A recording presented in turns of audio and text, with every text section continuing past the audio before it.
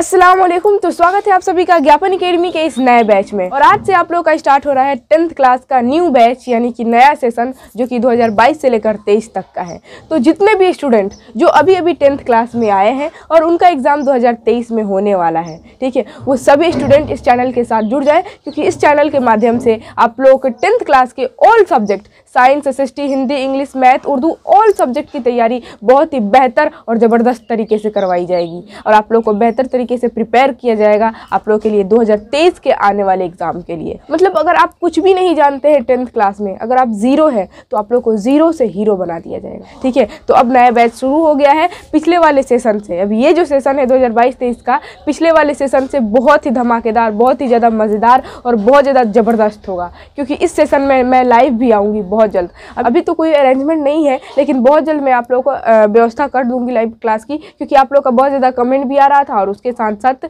YouTube भी मुझे बार बार mail कर रहा था। तो बहुत जल्द लाइव क्लास भी होगा, जिसमें आप आसानी से मुझसे कोई भी डाउट कोई भी कंफ्यूजन पूछ सकते हैं और मैं आप लोग का रिप्लाई दूँगी। ठीक है? तो फ़िलहाल अभी जिस तरह मैं आप लोग को वीडियो अपलोड करके पढ़ा रही हूँ, उस तरह पढ़िए और पूरे जोश जुनून के साथ नए बैच की और इस नए सेशन की शुरुआत कीजिए। जब आप लोग इनिशिएट अच्छा से करेंगे ना, शुरुआत तो आप लोग का अंत भी बहुत अच्छा होगा। ठीक है? अभी से आप लोग पढ़ना शुरू कर देंगे तो एग्ज़ाम के समय तक आप लोग के सर पर बोझ नहीं पड़ेगा पढ़ाई का। ठीक है? तो अभी से शुरू कीजिए पूरे जोश, जुनून और पूरे मोटिवेशन के साथ चलिए स्टार्ट करते हैं और आज मैं आप लोगों को पढ़ाऊँगी उर्दू। लेकिन उससे पहले अगर आप लोग चैनल पर नए हैं तो चैनल को सब्सक्राइब कर लीजिएगा ताकि मेरी रोज़ आने वाली वीडियो का नोटिफिकेशन आप तक सबसे पहले पहुँचे। और वीडियोज़ को लाइक शेयर वगैरह कर दीजिएगा, ठीक है? क्योंकि मैं आप लोग को पढ़ाने लगूँगी और आप लोग पढ़ने लगेंगे तो उसी में खो जाएँगे लाइक शेयर वगैरह करना भूल ही जाएँगे, ठीक है? तो चलिए अब बिना देर की वीडियो की शुरुआत करते हैं। देखिए आप लोग के टेंथ क्लास का उर्दू जो है, उसमें दो बुक पढ़ना है। उर्दू का दो बुक पढ़ना है। एक है दरक्षा और दूसरा है रोशनी। सबसे ज़्यादा क्वेश्चन जो है ना दरक्षा से पूछा जाता है। दरक्षा के उर्दू के बुक से। ठीक है? अगर मैं बात करूँ हंड्रेड परसेंट में से जो है ना eighty percent question Darakhsha book से पूछा जाता है और ट्वेंटी परसेंट बीस परसेंट क्वेश्चन रोशनी के बुक से पूछा जाता है। तो सबसे ज़्यादा जो इंपॉर्टेंट है वो आप लोगों का दरक्षा ठीक है? ऐसा नहीं है कि रोशनी इंपॉर्टेंट नहीं है, रोशनी भी इंपॉर्टेंट है, उसको भी मैं पढ़ाऊँगी, लेकिन शुरुआत करते हैं हम लोग दरक्षा के बुक से। दरक्षा का बुक का फ़र्स्ट चैप्टर है हमद। ठीक है? हमद किसे कहते हैं? हमद का मतलब होता है अल्लाह ताला की तारीफ़ करना। अगर अरबी लगत में बात की जाए तो अरबी लगत, अरबी डिक्शनरी में जो है ना, हमद का मानी होता है सिर्फ़ तारीफ़ करना। लेकिन उर्दू शायरी के हिसाब से देखी जाती है तो उर्दू शायरी के हिसाब से हमद का मानी होता है सिर्फ़ और सिर्फ़ अल्लाह ताला की तारीफ़ करना। ठीक है? तो हमद उस नज्म, उस कविता को कहते हैं। याद रखिएगा, हमद क्या है? कविता है नज़म। हमद उस नज्म यानी कि कविता को कहते हैं, जिसमें सिर्फ़ और सिर्फ़ अल्लाह ताला की तारीफ़ व तौसीफ़ बयान की जाए। जिसमें सिर्फ़ अल्लाह ताला की तारीफ़ हो, उस कविता को बोलते हैं हम लोग हमद। ठीक है? तो ये जो आप लोग का फ़र्स्ट चैप्टर है, वो हमद है। ठीक है? और मतलब शुरुआत मतलब अल्लाह ताला की तारीफ़ से की जाती है तो बेहतर होता है, ठीक है? और इसीलिए आप लोग शुरुआत कीजिए, अल्लाह ताला की तारीफ़ करते हुए। तो आप लोग का जो फ़र्स्ट चैप्टर है हमद, उसका क्या नाम है? हमद खुदाए अजोजल क्या नाम है? हमद खुदाए अजोजल ठीक है? अजोजल का मतलब होता है मर्तबे वाला, इज़्ज़त वाला, ठीक है? बड़ाई वाला, ठीक है? यानी कि उस खुदा की तारीफ़, हमद खुदा अजोजल यानी कि उस खुदा की तारीफ़ जो कि बहुत बड़ाई, बहुत मरतबे और बहुत इज़्ज़त वाला है। ठीक है? और ये नज़म मैं आप लोगों को पढ़ाऊँगी, लेकिन सबसे पहले इस चैप्टर के राइटर मुसन्फ़ के बारे में जान लीजिए। इस नज़म के शायर शबनम कमाली है। मुसन्फ़ भी बोल सकते हैं, शायर भी बोल सकते हैं, कोई दिक्कत नहीं है। मैं बोलूँ कि हमद खुदा अजूज़ल के राइटर कौन है? मुसन्फ़ तो आप लोग बोल दीजिएगा, शबनम कमाली। अगर मैं बोलूँ कि हमद खुदा अजूज़ल के शायर कौन है? इस कविता के लिखने वाले कौन है? तो शबनम कमाली होगा, शायर बोलिए, फिर मुसन्फ़ बोलिए, बात एक ही है। ठीक है? तो शबनम कमाली के बारे में सबसे पहले जानिए, क्योंकि एग्ज़ाम में क्वेश्चन पूछ देता है। ठीक है?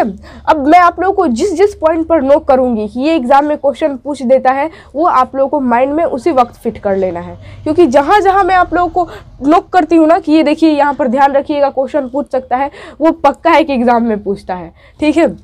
तो फ़िलहाल चलिए शुरू करते हैं। देखिए, शबनम कुमारी का असल नाम जो है रियल नेम वो है मुस्तफ़ा रज़ा। ठीक है? और इनका तखल्लुस।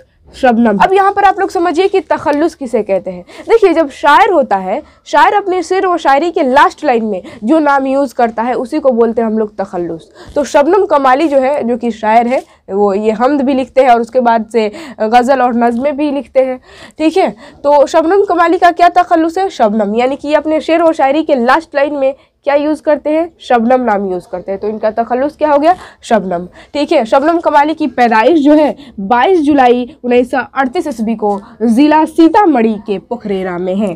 ठीक है, याद रखिएगा क्वेश्चन पूछ देता है शबनम कमाली की पैदाइश कब हुई? और ऑप्शन में उन्नीस सौ अड़तीस दिया रहता है तो आप लोग को टिक करना होता है। ठीक है, ज़िला सीतामढ़ी के पोखरेरा में, शबनम कमाली का ताल्लुक बिहार से था।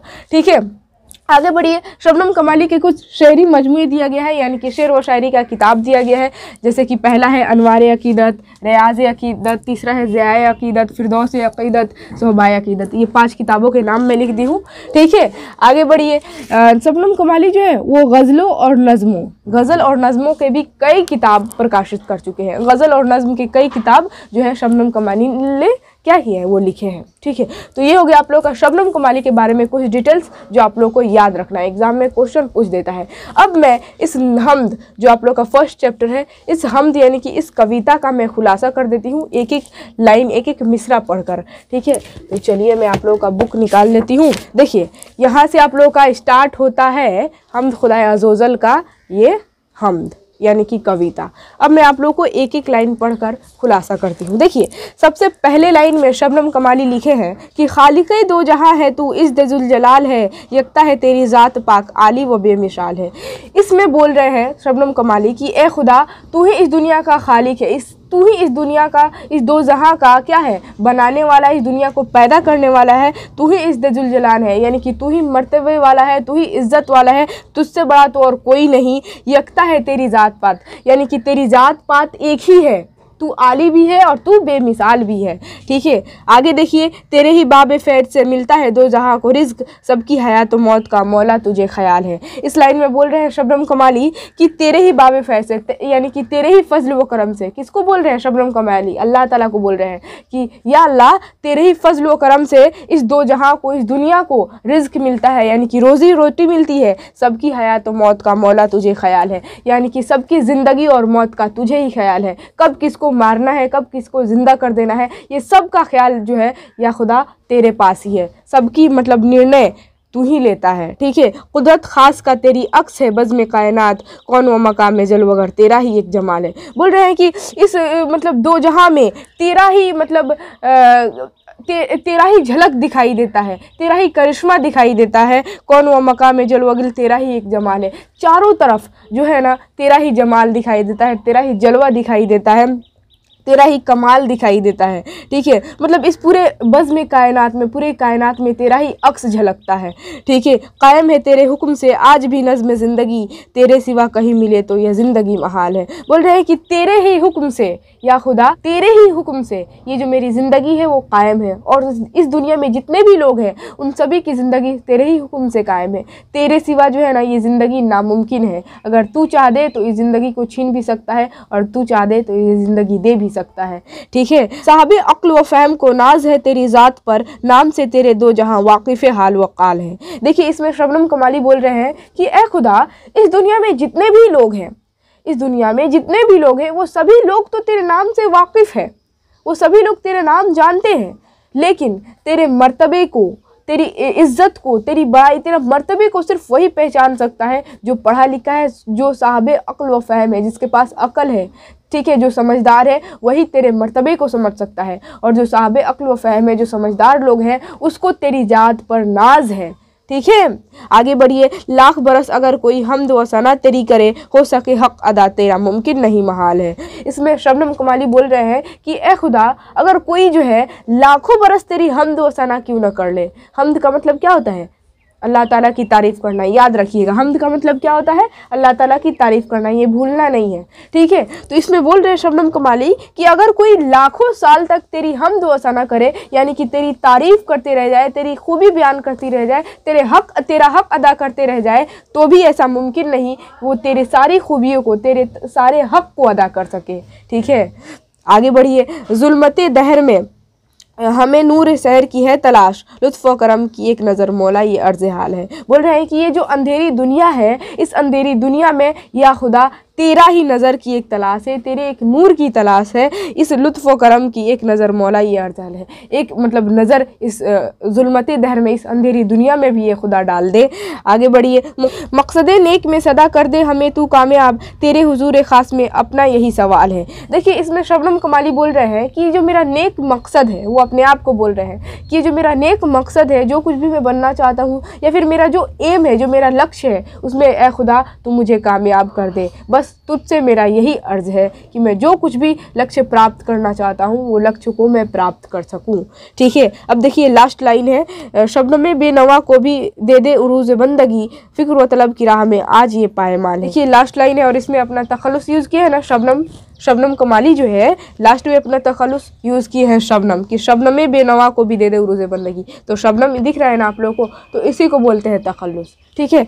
तो देखिए इसका मतलब क्या हुआ? शबनम कमाली लास्ट लाइन में क्या बोल रहे हैं? कि शबनम बेनवा को भी दे दे उरूज बंदे की। बोल रहे हैं कि ए खुदा, ये जो शबनम बेनवा है, अपने आप को बोल रहे हैं। शबनम का मैली जो है ना, वो अपने आप को बोल रहे हैं कि ये जो शबनम बेनवा, यानी कि शबनम खामोश बैठा हुआ है, चुपचाप सहमा हुआ है, उसकी ज़िंदगी को तुम क्या दे दे, तरक्की की ज़िंदगी बना दे। ठीक है? फ़िक्र व तलब की राह में आज ये पायमाल है। यानी कि ये फ़िक्र व तलब की राह में तुझसे सिर्फ़ यही तलब है तलब है कि तू क्या कर दे? मेरी ज़िंदगी को तरक्की की ज़िंदगी कर दे। मेरी ज़िंदगी जो है बिल्कुल आ, मतलब ख़राब हो चुकी है मतलब झंड बन चुकी है ठीक है? मेरी ज़िंदगी की को तरक्की याफ्ता कर दे ठीक है? बस तुझसे यही तलब है खुदा ठीक है? तो ये लास्ट लाइन में ये बोले शबनम कुमाली अपने आप को बोले हम। ठीक है? तो ये हो गया आप लोगों का पूरा एक हम एक एक मिसरा एक एक लाइन पढ़कर मैं आप लोगों को खुलासा कर दी। आई थिंक आप लोगों को बहुत ही बेहतर तरीके से समझ में आया होगा। अगर समझ में आया तो लाइक कर दीजिएगा वीडियोस को और कमेंट में ज़रूर बताइएगा कि हाँ मुझे समझ में आया गया है। तभी तो मुझे मालूम चलेगा कि हाँ आप लोग को समझ में आया है और एक तरह से मोटिवेशन भी मिलता है। ठीक है? तो चलिए, इसी के साथ आप लोग का चैप्टर नंबर वन जो है, वो कंप्लीट होता है। अब रही बात इसके क्वेश्चन आंसर की तो क्वेश्चन आंसर का जो वीडियो है, वो अलग से मैं अपलोड करूँगी। दूसरे वीडियो में, जिसमें सिर्फ़ और सिर्फ़ क्वेश्चन आंसर ही होगा। ठीक है? और अगर आप लोग चाहते हैं कि नहीं, हम लोग अभी लिखेंगे क्वेश्चन आंसर तो पिछले वाले सेशन में क्वेश्चन आंसर कराई थी वन बाई वन करके चैप्टर का वन टू थ्री करके ऑल चैप्टर का क्वेश्चन आंसर कराई थी। तो इसी चैनल के प्लेलिस्ट में है आप लोग, जाकर देखेंगे, उर्दू दरक्षा टेन सॉल्यूशन के नाम से प्लेलिस्ट सेव है। ठीक है? तो वहाँ से जाकर ऑल चैप्टर का आप क्वेश्चन आंसर अगर आप चाहते हैं लिखना तो लिख सकते हैं। लेकिन फ़िलहाल तो मैं कराऊँगी क्वेश्चन आंसर अभी आप लोग निश्चिंत रहिए, अभी बहुत टाइम है, अभी तो स्टार्ट हुआ है आप लोगों का, ठीक है? तो इसी के साथ आप लोग का चैप्टर नंबर वन जो है, वो कंप्लीट होता है। कोई भी कंफ्यूजन हो इस चैप्टर से रिलेटेड आप हमें कमेंट कर कर पूछ सकते हैं। वीडियो अच्छा लगा तो लाइक शेयर वगैरह करना मत भूलिएगा, ठीक है? तो चलिए, फिर मिलेगा नेक्स्ट वीडियो में नेक्स्ट टॉपिक के साथ। तब तक के लिए जय हिंद और खुदा हाफिज़।